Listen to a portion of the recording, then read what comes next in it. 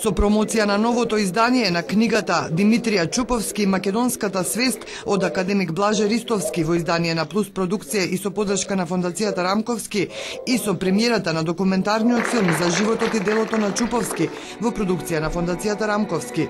Во Ману денеска беше одбележена 130 годишнината од раѓањето на корифеот на македонското национално ослободително движење. Чуповски на почетокот на 20 век се залагал за целокупна и независна Македонија.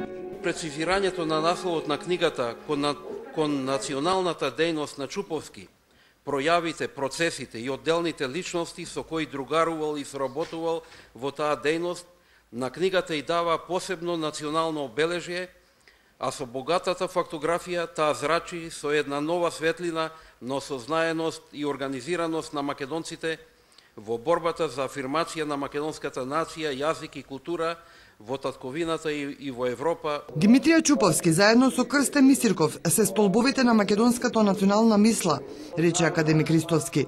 Но за нивното дело, државата и ова и она предходната не покажаа доволно грижа.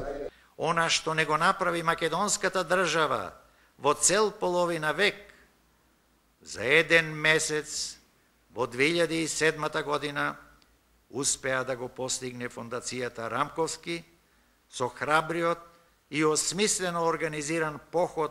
Идеите на Димитрија Чуповски се мост од минатото кон иднината, која е токму во интегративните европски процеси.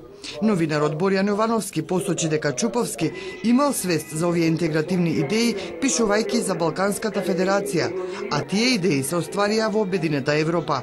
Представници на Фондацијата Рамковски и ученици од средното училиште што го носи неговото име, денеска положија цвеќе на бистата на Димитрија Чуповски во Ману.